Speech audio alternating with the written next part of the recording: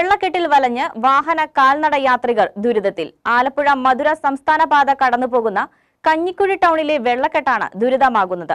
അനധികൃത നിർമ്മാണവും കാലാകാലങ്ങളിൽ ഓടകൾ വൃത്തിയാക്കാത്തതുമാണ് വെള്ളക്കെട്ടിന് പ്രധാന കാരണം.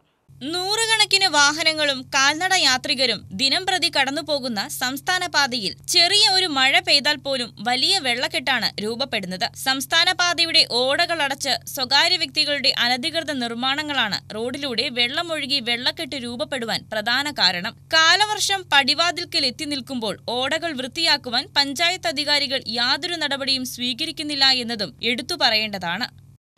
അനധികൃതമായ നിർമ്മാണങ്ങൾ പ്രത്യേകിച്ചും വ്യാപാരികളുടേത് എന്ന് തന്നെ എടുത്തു പറയേണ്ടിയിരിക്കുന്നു.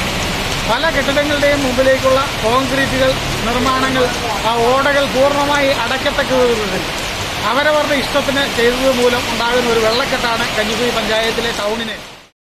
അടിയന്തരമായി പഞ്ചായത്ത് അധികാരികൾ കാലവർഷത്തിന് മുൻപ് അനധികൃത നിർമ്മാണങ്ങൾ പൊളിച്ചു നീക്കി ഓടകൾ വൃത്തിയാക്കി റോഡിലൂടെ വെള്ളം കയറുന്ന പ്രശ്നത്തിന് പരിഹാരം കാണണമെന്നാണ് ജനങ്ങളുടെ പൊതുവായ ആവശ്യം.